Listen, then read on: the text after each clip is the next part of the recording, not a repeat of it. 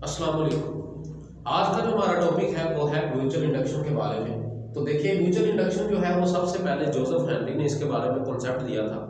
तो mutual induction की जो डेफिनेशन है, वो ये है the phenomena in which changing current in one coil induces an EMF in another coil तो ये एक ऐसा फिनोमेना है, जिसके अंदर चेंजिंग करंट कि करंट में जो चेंज होता है, अगर यहाँ पे जो करंट का चेंज आएगा, यानी कि एक कॉइल के अंदर जब करंट पास करता है तो उसमें मैग्नेटिक फ़ील्ड पैदा होती है जो आपको पता है। तो या, जब ये फ़ील्ड पैदा होगी तो ये फ़ील्ड इन कॉइल्स के अंदर मुंतकिल होगी, जो कि इंड्यूस कर देगी एन ईएमएफ ईएमएफ क्या होता है? ईएमएफ होता है इलेक्ट्रोमोटिव फोर्स अब इलेक्ट्रोमोटिव फोर्स क्या है? ये आपके बारे, आपको मैं इसका पूछा देता हूँ कि एक आपके पास अगर एक बल्ब है तो इस बल्ब को जब आप किसी बैटरी के साथ ज्वाइन करते हो तो आप क्या करते हो? वोल्टेज प्रोवाइड करते हो किसी चार्ज के ऊपर। ये एक चार्ज है। तो ये जो वोल्टेज होते हैं, ये क्या होते हैं? ये इस चार्ज के ऊपर फोर्स लगाता है और वो जो फोर्स है, इसको हायर पोटेंशियल से लोअर पोटेंशियल की तरफ़ डिस्प्लेसमेंट करती है। तो ये चल, चलता है। हायर पोटेंशियल से किस साइड पे चलता है ये? लोअर पोटेंशियल की तरफ़। लोअर पोटेंशियल तो जब ये हायर से लोअर की तरफ़ जाता है तो ये करता है डिस्प्लेसमेंट यानी कि जब आप किसी चार्ज को मूव करवाते हो तो आप सबसे पहले इसको फोर्स लगाते हो, जो कि किसी बैटरी की वजह से लगानी पड़ती है। और वो फोर्स होती है, इस चार्ज को डिस्प्लेसमेंट करवाती है हायर से लोअर की तरफ़। तो दरअसल ये आप क्या करवाते हो? वर्क डन करवाते हो, क्योंकि वर्क डन का फार्मूला होता है W is equal to F dot D अब ये जो वर्क है, आप किसके ऊपर करवा रहे हो? किसी चार्ज के ऊपर करवा रहे हो? तो यही क्या कहलाएगा? ईएमएफ ये कहलाएगा इलेक्ट्रोमोटिव फोर्स तो ये इलेक्ट्रोमोटिव फोर्स है, ठीक है? तो जब एक कॉइल के अंदर करंट चेंज होता है तो करंट की फ्लो की वजह से फ़ील्ड पैदा होती है और वो जो फ़ील्ड है, इन कॉइल्स के अंदर फ्री इलेक्ट्रॉन्स को पुश देती है। क्या देती है? पुश पुश का मतलब इंड्यूस करती है ईएमएफ को, यानी ईएमएफ एक फोर्स है जो किसी भी चार्ज को वर्क डन करवाती है हार्ट से लोअर की तो इसमें से चार्ज मूव करना शुरू हो जाते हैं और गलवानोमीटर डिफ्लेक्शन शो करता है, ठीक है? तो ये डेफिनेशन थी और ये उसकी डायग्राम्स है, ठीक है? हमने बनानी है दो कॉइल्स बनानी है ए और बी कॉइल्स है। ए को आपने किसी बैटरी के साथ ज्वाइन किया है और एस जो है एक स्विच है जिससे आप इसके अंदर करंट का फ्लो करवाते हो। और बी क्वाइल जो है वो किसी गलवानोमीटर यानी सेंसिटिव गलवानोमीटर के साथ अटैच कर दी गई है। अब सेंसिटिव गलवानोमीटर वो होता है जो बहुत ही कम मिकदार में अगर करंट हो, तब भी वो डिफ्लेक्शन शो करते हैं, ठीक है? अब हम बात करते हैं इसकी कंस्ट्रक्शन की। अब आप क्या करोगे? आप इसमें लिखोगे consider we have two coils A and B coil A which is attached with battery and a switch S is connected in series with the coil. Is called primary coil while the coil which is attached with galvan sensitive galvanometer in series is called secondary coil तो ये जो definition है, आपने इसी तरह ही लिखनी है इसकी कंस्ट्रक्शन अब इसके दरमियान जो कॉन्सेप्ट है, वो फेराडेज लॉ का ही यूज़ होगा। क्योंकि हमने फेराडे लॉ पढ़ा हुआ है। वो किसके बराबर होता है? कि ईएमएफ जो है induced EMF is directly proportional to change rate of change of flux flux के अंदर जो जितना चेंज आता है, उसके मुताबिक ही ईएमएफ पैदा होता है। अगर आपके पास फ्लक्स ज़्यादा है तो ईएमएफ की मकदार भी ज़्यादा होगी। और अगर आपके पास जो फ्लक्स है, यानी मैग्नेटिक लाइंस जो हैं, वो ज़्यादा है तो फ्लक्स ज़्यादा है। अगर लाइंस कम बन रही हैं तो उसके अंदर जो इंड्यूस्ड ईएमएफ होगा, वो भी कम बनेगा। यानी कि जो करंट यहाँ पे प्रोड्यूस होगा उसकी मकदार कम होगी। अब बात करते हैं इसके आगे वर्किंग के बारे में। अब ये किस असूल पे काम करता है? तो देखिए, सबसे पहले हम क्या करते हैं? जब आपने एक बैटरी के साथ इसको ज्वाइन किया और एक स्विच एस है, उसको आप सबसे पहले क्या करोगे? क्लोज करोगे तो फ्री करंट फ्लो करेगा ना।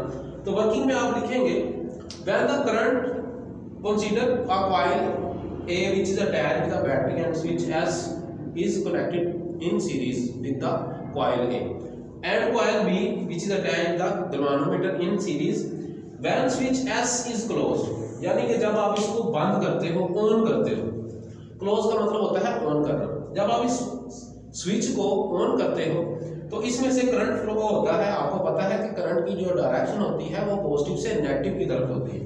तो ये पॉजिटिव से नेगेटिव की तरफ़ फ्लो करेगा। तो इसकी जो डायरेक्शन बनेगी, वो इस सीमत में बनेगी। ठीक है? वो यहाँ से गुजरेगा और यहाँ पे वापस आ जाएगा। हायर पोटेंशियल से चलेगा और लोअर की तरफ़ वापस आ जाएगा। यहाँ पे ये पोल बनाएगा नॉर्थ पोल और इधर वो बनाएगा साउथ पोल ठीक है? तो जब इसने दो पोल बना दिए तो हमें पता है कि जब ये इलेक्ट्रिक फ़ील्ड बनाता है तो नॉर्थ जो होता है, वो मैग्नेटिक फ़ील्ड लाइंस पैदा करता है। ये इसमें से लाइनें पास करेंगी, ठीक है? इस तरह की। उनकी डायरेक्शन इस साइड पे होगी। इनमें से कुछ लाइनें साइड से गुजर जाएँगी और कुछ इसके अंदर क्वाइल्स के साथ टकराएँगी। अब आपको पता है कि जब इसके अंदर लाइन मैग्नेटिक लाइंस टकराएँगी तो यहाँ पे वो रिपेल करेंगी दूसरे फ्री इलेक्ट्रॉन्स को, जो इस कंडक्टर के अंदर मौजूद होंगे तो जब एक दूसरे को धक्का लगाएँगे तो आपको पता है कि रिपल्शन जो होती है, वो दो सेम चार्जेस में होती है। अगर ये नॉर्थ पोल है तो ये भी रिएक्ट करेगा एज अ नॉर्थ पोल क्या ये नॉर्थ पोल क्यों रिएक्ट करेगा? क्योंकि मैग्नेटिक लाइंस ऑफ़ फोर्स इसको रिपेल करेंगी, इसके अंदर जो इलेक्ट्रॉन्स हैं उनको धकेलेंगी। तो दो सेम चार्जेस या दो सेम पोल ही एक दूसरे को धकेल सकते हैं ना? तो इसलिए यहाँ भी नॉर्थ पोल बनेगा, अगर इधर एन बना तो इधर क्या बनेगा? साउथ पोल तो इसमें जो इंड्यूस्ड करंट पैदा होगा, उसकी जो डायरेक्शन होगी वो ये होगी, इस साइड होगी। और फिर क्या होगा? यहाँ से गलवानोमीटर डिफ्लेक्शन शो कर देगा। अब ये डिफ्लेक्शन कब तक जारी रहेगी, ये हम एक्सप्लेनेशन में ऐड करेंगे, ठीक है?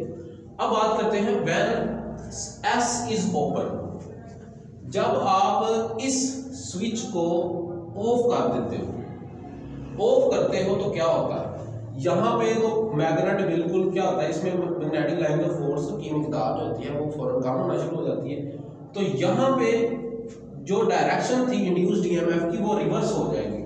पहले अगर वो इस साइड पे आ रहा है तो फिर दोबारा यहाँ इस साइड पे इनकी डायरेक्शन होगी, इस साइड क्योंकि लेंस लॉ हमें क्या कहता है? The direction of induced EMF is always such that it causes reverse it causes induce in the current in reverse direction यानी कि वो अपने काज को अपोज भी करता है, या डायरेक्शन को अपोज करता है। यहाँ अब लेंस लॉ क्या करता है? दोबारा इसको देखिए। कि the direction of induced EMF is always such that it reverse the, या it oppose the direction of its production.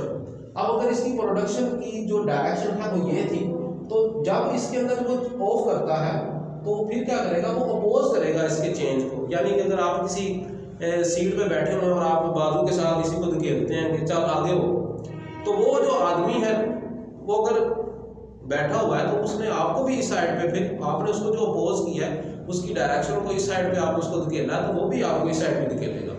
तो इसने काम किया था वो पहला धकेलने वाला। अब ये जो आदमी है, ये भी खामोश नहीं बैठेगा, जैसे आपको पता है कि एक्शन का रिएक्शन तो होता ही है। तो इसने भी क्या करना है उसको धकेलना है। तो इसकी जो डायरेक्शन हो जाएगी, ये उल्ट हो जाएगी, यानी कि इसके अंदर बैक ईएमएफ पैदा होगा। बैक ईएमएफ पैदा होगा। यानी वो कहेगा कि हाँ तुमने मुझे तंग किया है, अब तुम जाते किधर हो? इधर आओ, वापस आओ। तो इसने क्या करना है? यहाँ पे साउथ पोल ने बना देना है और यहाँ पे नॉर्थ पोल यानी ये नॉर्थ क्या बन गया? साउथ तो ये तो नॉर्थ पहले था तो आपको पता है कि दो डिफरेंट जो होते हैं पोल वो आपस में क्या करते हैं? अट्रैक्शन करेंगे। क्या करेंगे? अट्रैक्शन करेंगे। तो इसके अंदर बैग ईएमएफ पैदा होगा। क्या होगा? बैग ईएमएफ फिर भी ये डिफ्लेक्शन शो करेगा। यानी एक डिफ्लेक्शन जो है वो आगे की तरफ़ जब लाइन जाती हैं मैग्नेटिक लाइन आगे को जाती हैं, तब डिफ्लेक्शन शो करता है। और जब आप ऑफ़ करते हो तो मैग्नेटिक लाइन पीछे को आती हैं, तब तब भी इसमें इंड्यूस्ड ईएमएफ पैदा होता है और करंट शो करता है। अब बात करते हैं इसकी एक्सप्लेनेशन की। एक्सप्लेनेशन में आप क्या ऐड करोगे? आप ये ऐड करोगे कि जब किसी भी सर्किट को या आप एस को स्विच को ऑन करते हो तो इसमें magnetic line of force start होती हैं। और वो मैग्नेटिक लाइन ऑफ़ फोर्स जो होती हैं, इसके अंदर रिपल्शन पैदा करती हैं फ्री इलेक्ट्रॉन्स में और यहाँ पे डिफ्लेक्शन शो हो जाती है। तो जो यहाँ पे डिफ्लेक्शन शो होती है, वो होता है करंट वो जो करंट होता है, वो स्टडी होगा उस वक्त तक। जब स्टडी करंट क्या होता है? ऐसा करंट जो कंटिन्यूसली जारी रहे। तो करंट उस वक्त जारी रहेगा जब तक ये जो करंट है, उसकी मकदार सेम रहेगी। क्या रहेगी? इसकी फ्लक्स की मकदार सेम रहेगी। यानी इनकी जो फ़ील्ड फ़ील्ड की जो लाइंस हैं, उनकी तादाद सेम टकराएगी, तब तक स्टडी करंट होगा। और जब इसके अंदर करंट में अगर आप कोई तब्दीली नहीं लेके आते फ्लक्स की मकदार सेम ही रहती है कांस्टेंट रहती है, तब बी के अंदर कॉयल के अंदर करंट जो होगा इंड्यूस ईएमएफ वो कम होना शुरू हो जाएगा। ठीक है? क्योंकि इसमें चेंजिंग करंट प्रोड्यूस करता है चेंजिंग करंट अगर करंट सेम है तो फिर इंड्यूस ईएमएफ तो पैदा होगा, लेकिन थोड़ी देर के लिए। मोमेंटरी डिफ्लेक्शन शो करेगा गलवानोमीटर मोमेंटरी डिफ्लेक्शन का मतलब होता है कि सिर्फ़ खास वक्त के लिए ही वो डिफ्लेक्शन शो करेगा, उसके बाद वो डिफ्लेक्शन शो नहीं करेगा। और इसी तरह, जब आप इसको ऑफ़ करते हो तो ये दोबारा बैक ईएमएफ पैदा करता है और अपने कार्स को अपोज करता है आई होप आपको इसके बारे में कॉन्सेप्ट मिल गया होगा। और फर्दर एक्सप्लेनेशन आप बुक से भी ऐड कर सकते हैं इसके अंदर। तो अपना और अपने वालदेन का बहुत ज़्यादा ख्याल रखें, क्योंकि आप उनकी दुआओं से आप इस जहान में भी और अगले जहान में भी कामयाब होंगे। नेक्स्ट टॉपिक हम कल पढ़ेंगे तो टिल देन टेक केयर अल्लाह हाफिज़।